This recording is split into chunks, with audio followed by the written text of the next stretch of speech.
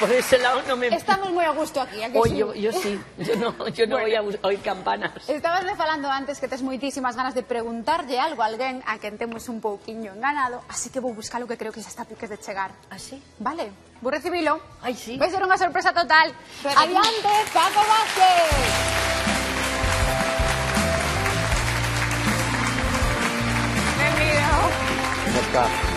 Gracias por venir. Uy, qué alegría, qué alegría, qué alegría. Nuestro embajador.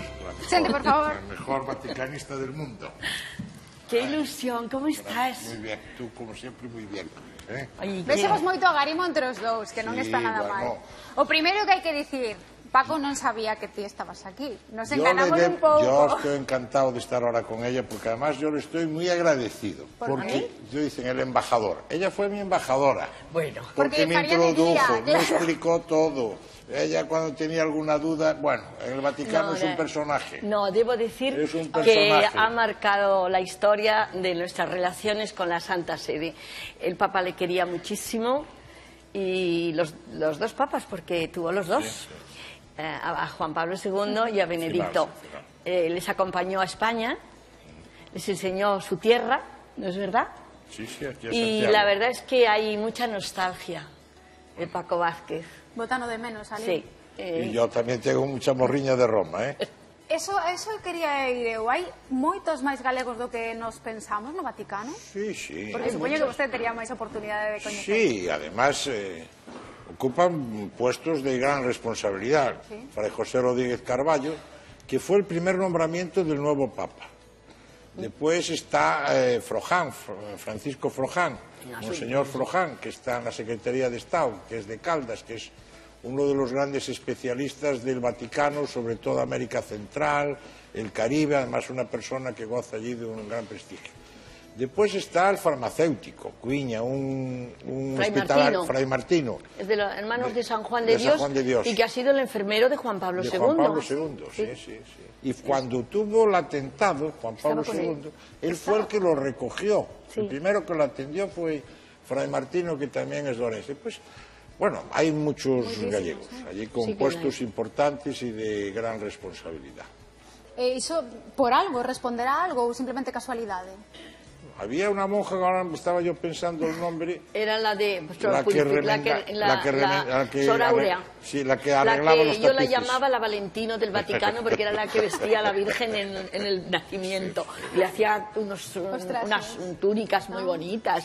Sí, sí, la Sor Aurea. Sigue, Sor Aurea me parece que sigue todavía en, en- el, digamos, en, en las tapi- en los de los Los tapices, donde se O sea, restauran tapices. totalmente. Y luego está otra también que era muy importante en la biblioteca Sí, eh, archivera. la archivera. Una archivera. Cada tres o cuatro meses yo hacía una comida de gallegos en la embajada. cantos asistían? Pues ocho, nueve, dependía. Non ¿no? está mal, eh? Esta monja era una monja que eh, entró muy niña en el convento de 14 o 15 años, Sor Aurea, la que dice Paloma, y bordaba muy bien. Bordaba, era una monja, era una novicia muy jovencita, bordaba muy bien. Y entonces la madre generala, que vino de visita a los distintos conventos y monasterios, la vio bordar y ya la llevó para Roma. Y fíjese usted la responsabilidad que es no solamente hacer trajes y tal, sino coger un tapiz Del siglo XVI, Claro, ¿eh? que a lo mejor está roto y ella es la que lo va Y qué a- paciencia, Qué además. paciencia, además. Santa paciencia. A veces eso, eso é un don que lle dan a moi pouca xente, o sea que... Tengo que decir que la Embajada de España hoy resplandece y es bellísima, con toda restaurada la fachada, gracias al embajador y a la amistad con eh, Amancio Ortega. Amancio Ortega, que, lo ha, que ha querido regalar a España esa embajada que es la más bonita de Roma y que la, mm, toda la fachada está como en el 1600 de preciosa, como nueva. Como si o sea que es Galicia la que realmente tiene que eh, tenemos todos y los romanos los primeros que agradecérselo el que tengamos esta embajada. Gracias. Por suposto, supoño que, como dicíades antes, fai moitas veces eh, paloma de guía, porque as portas de, de o Vaticano están abertas sempre para ela e para poder facer de guía, pero cando ven vostede aquí a Galicia, creo que tamén leva algo. E non sabemos a través dun amigo seu que se chama Lito, que hai uh, algo que sempre visita e que non deixa de levar. Vou recibir a alguén que creo que lle vai gustar o que trae. Adiante, Monse Freire. Monse Freire.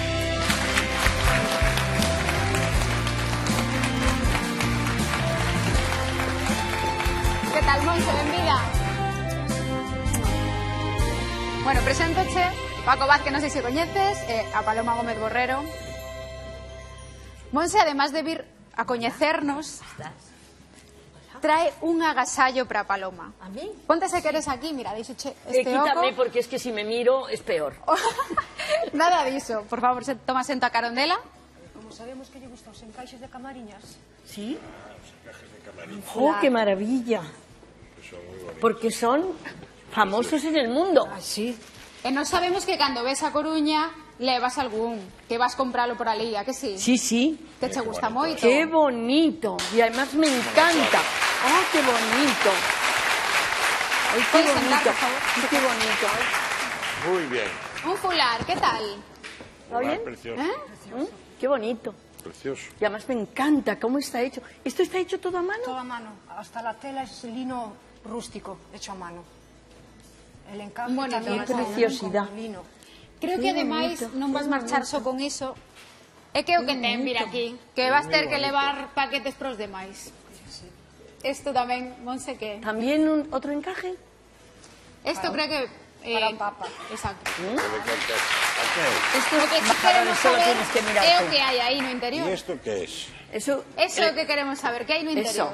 eso que lo Bueno, abra. pois pues hai un cuadro, ca Paloma da Paz. É que está tan paquetadiño, entón non podemos Ay, verlo. non, Claro, podemos como- ver. Sí, pódelo abrir, é que está dentro. Eh. Sí. Sí. sí, sí, sí. É un cuadro ca Paloma da Paz, eh? E despois nun sobrinho tamén hai un marcapáginas. Ah, mira que bonito. Ah, mira. Palilleiras de Camariñas, Monse, moi bonito. Vou pedir, Ay, Paco, que- se podes Yo ensinar. creo que esto ya le sirve de, de carta, de palilleira. Pois moitas gracias, Monse. Vouche dicir que saias e eu mentres quedo con eles, vale? Podes sair por aí, gracias. Fíjate, qué bonito. É bonito, a que sí? Bonito, verdad? É que as palilleiras, as palilleiras fan un auténtico, vamos, un arte con isto.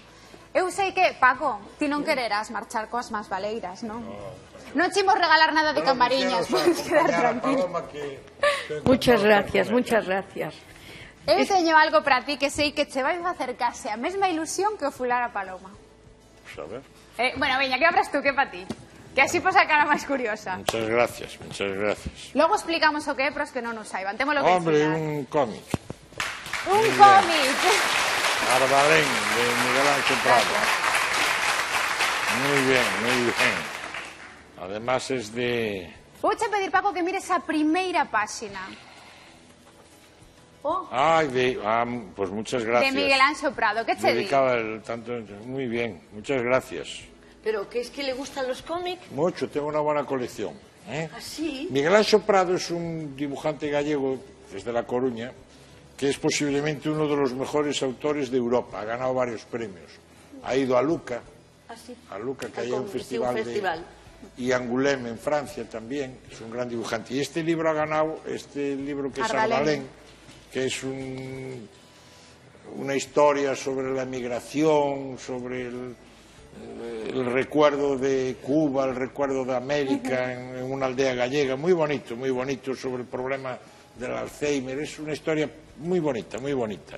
Pues ha ganado el premio al mejor libro de, de cómics de- del presente año. regalo. Sí, é Y moi es muy bonito. bonito, muy bonito. espero, Paco, que non o tiveras. No, no, no. No, no. Y además con la, menos con esa Pero con la dedicatoria. dedicatoria, pues Hai que ensinar o dibuixo más. que fixo, se podes ensinar a cámara, por favor, porque é precioso, feito a man.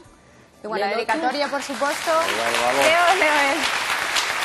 Y dice, eh, para ti Paco, después de tantos años compartiendo el amor por la historieta, el esfuerzo y la ilusión por hacer de La Coruña un referente del, del cómic en España y Europa. Bueno, Bueno, moitas grazas aos dous. Vou vos deixar aquí que teredes moitísimo que falar, eu vou despedir. Eh, alégrome moito